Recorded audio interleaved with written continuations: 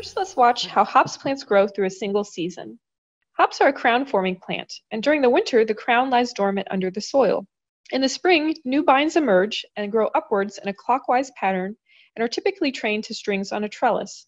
Notice that these stems are called bines with a B. We typically cut back the earliest bines and train bines that emerge later in the spring. This selection of later emerging bines can help with disease management and crop timing. As the plants grow, the main vine will produce side stems called laterals. And on these laterals is where the hops plant will produce flowers that later turn into the cones.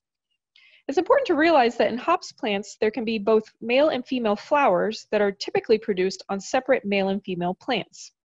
Female plants produce the cones and so are the only ones grown in a typical commercial production setting. The hops cone contains lupulin and alpha and beta acids that impart the flavor and bittering qualities to beer. If male plants are allowed in the field, the cones will have seeds in them, which reduces hop cone quality. Hops flower once they reach a certain number of nodes and when are, there are short days. Hops are primarily grown in the north where day lengths exceed 15 hours. Here in Arkansas, our longest days are 14.5 hours in midsummer.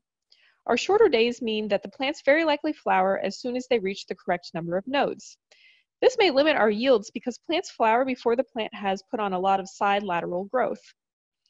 So cutting back those early shoots may help force the crop to be slightly later and may improve yields and hop cone quality. However, we're still trying to determine optimum cutting back or pruning dates for Arkansas.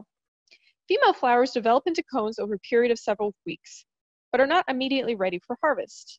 Or we will discuss how to determine when a hop cone is ready for harvest a little later on. Cones can be individually hand harvested on young plants, or the bines can be cut to the ground and all the bines removed in a single harvest. After harvest is over in the fall, the bines are cut back to the ground and the plant returns to the dormant state as winter approaches.